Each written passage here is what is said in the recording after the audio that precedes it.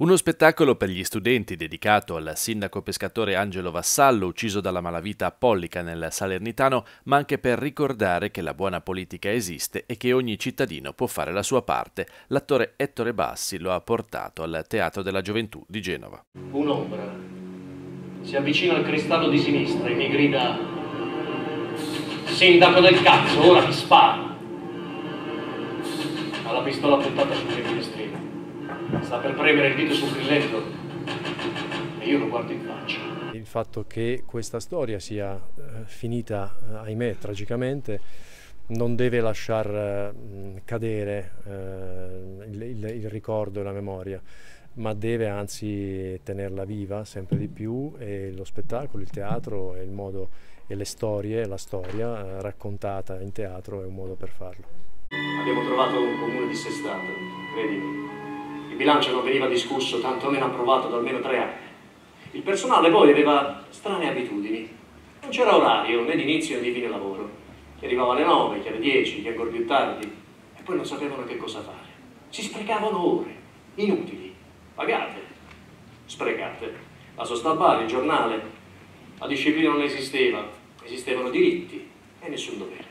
I ragazzi sono attori, nel senso che mh, ci abbiamo tenuto a Ehm, dal momento che questa è una storia che noi vogliamo portare ai ragazzi e farla raccontare anche dai ragazzi, fare dei ragazzi il tramite attraverso cui questa storia possa essere eh, veicolata, li mettiamo sul palco e quindi gli facciamo vivere direttamente l'esperienza.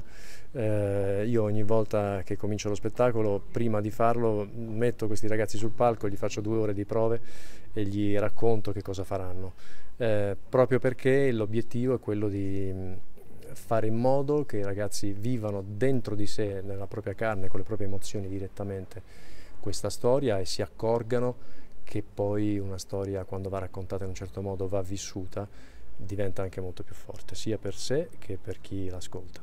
Io penso che sia fondamentale trasmettere i valori ai ragazzi, a queste scolaresche che hanno risposto eh, qui al Teatro della Gioventù.